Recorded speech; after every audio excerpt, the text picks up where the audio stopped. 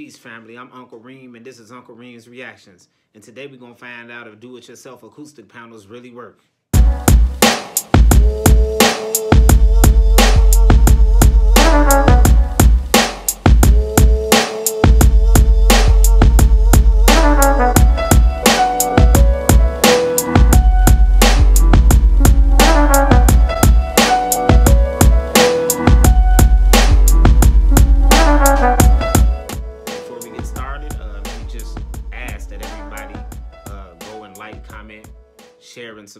Subscribe. Don't forget to click the bell icon as well. That way you be in the loop of whatever else we have going on.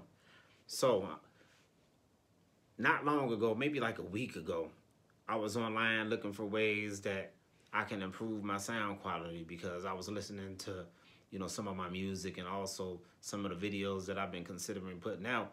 And I noticed that I can hear background echo in some cases.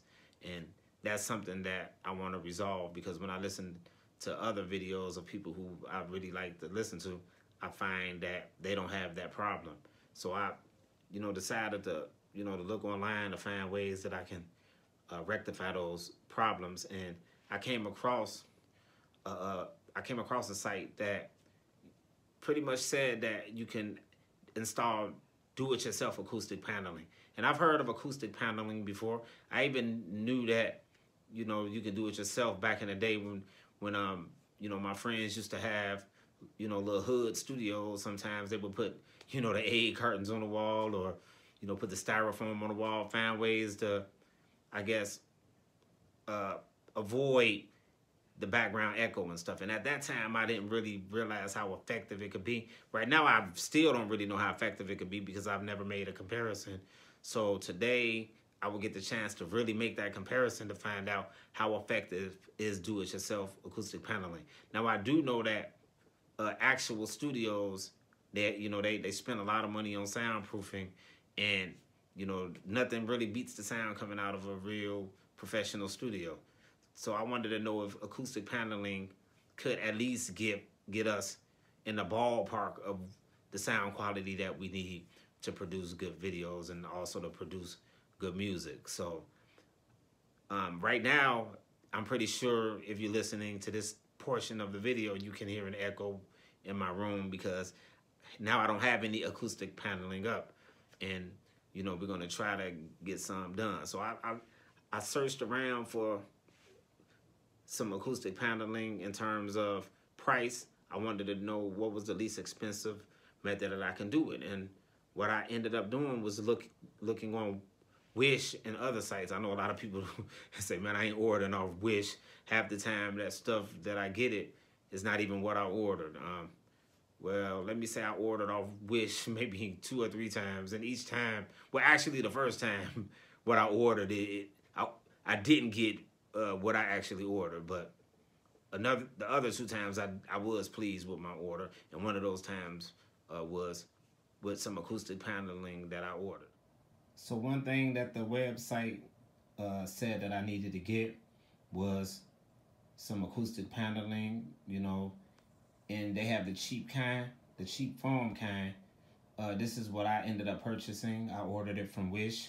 I really don't generally order anything from Wish. But um, I decided that since this is a pretty inexpensive purchase, it's something that I can try. And it took them around two weeks to send it to me. But when they did, it just came in plastic packages. And altogether, I have 50 uh, foam panels. And this is really just some, you know, some thin foam panels. Um, and this is actually the type of thin foam pan panels that the uh, that the site stated that uh you know that that I should purchase and, and use. So um that's what I'm gonna use. Uh additionally, um I purchased some command strips and you can get these at Home Depot or you know any like hardware store. Um they have them at Home Depot in the hardware aisle. Um just just to let you guys know that I'm not my I'm not funded by either of these companies that I just stated. I'm not funded by Wish or Command Brand, but um, this is what was suggested on the site that I was on, uh, Command Strips, as well as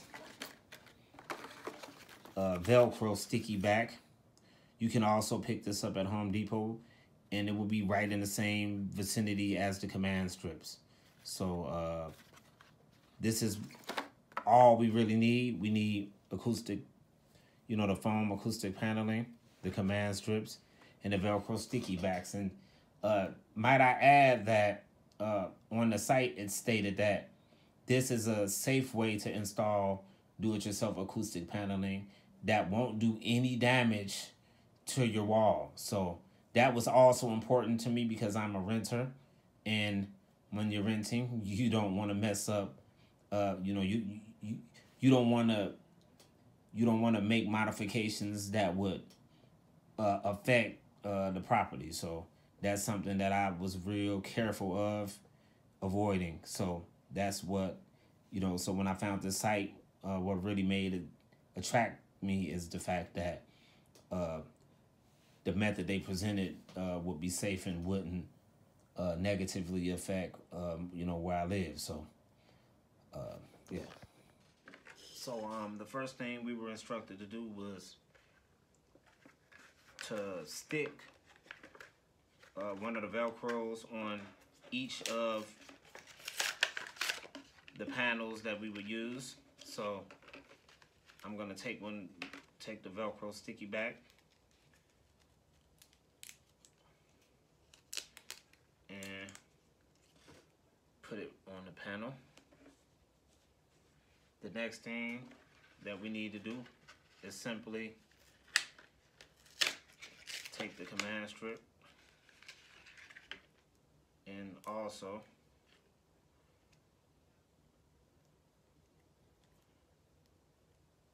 um, guess it's this side. So stick the command strip on the panel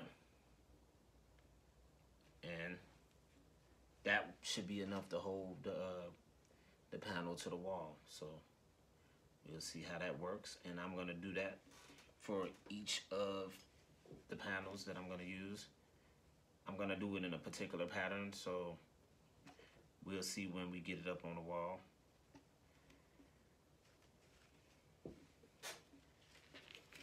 So we have a Velcro sticky back. Stick that like right at the top center of the panel. Here we take the command strip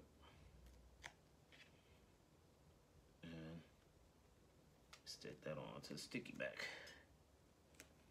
And I will do that for each of my 50 panels. I won't do that right now. I'll just show you the results because that would be a bit time consuming. Okay. So we completed the do-it-yourself acoustic paneling. Um, it was a tremendously easy job. Something that I didn't know was that the either the Velcro or the command strips will work by themselves. Uh, so the site that I utilized, um, they kind of had it wrong um, because I, I managed to, you know, be able to use the Velcro by itself on some of the uh, panels, and I use the command strips by themselves on other panels. uh, those Velcros and those command strips, they're a little bit pricey. So, um, you know, use those sparingly. Um, but the uh, the foam that we use for for the paneling is pretty lightweight. So those velcros and those command strips, they can hold something up to five pounds in some cases, and some of them even, you know, they they vary in terms of weight uh, capacity. Uh, you know, when you go to wherever you go to purchase them, like I said, I purchased mine from Home Depot. Uh, you can look at the varying weight capacities. So, um, so those command strips can be used by themselves or the Velcros can be used by themselves. You use them together, you, you're wasting money. So another thing that I, um, that I uh, forgot to mention earlier was that um, if you want to have an even space between your panels, as you can see on my back wall, um, I do have an even space between my panels.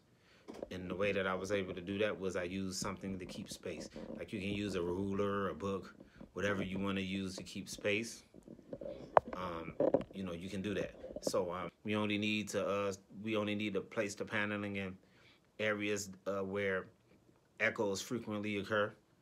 Um, I did get to hear a sample of you know the way that it sounds now versus the way that it sounded earlier. And yes, it does make a difference, and it's a it's a pretty clear and considerable difference. Um, there's still a little background, but um, just based on the, the fact that this only costed a few dollars, as opposed to all of the, you know, all of the hundreds and thousands of dollars you would probably spend getting it professionally, uh, you know, soundproofed uh, with acoustics. Um, I think this is pretty good. Um, and uh, again, um, this is just a starting point.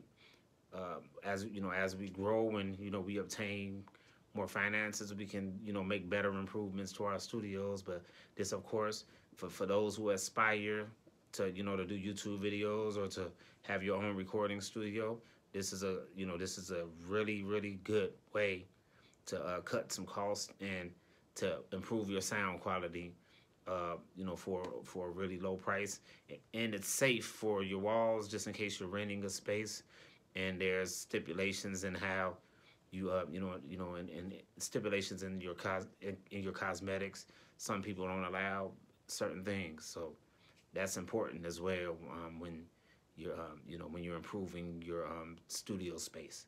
So uh, thank you all for listening. Um, please comment anything you know and please place in the comments uh, you know what you think about it if you you know if you agree that um, that it's a considerable difference in terms of acoustics and uh, if you have any ideas or any things that you did yourself for, for those of us who, who have our own home studios you know what are some things uh, you did and what are some suggestions that we can make to improve our studio? Thank you. Uh, don't forget to like comment share and subscribe. Peace.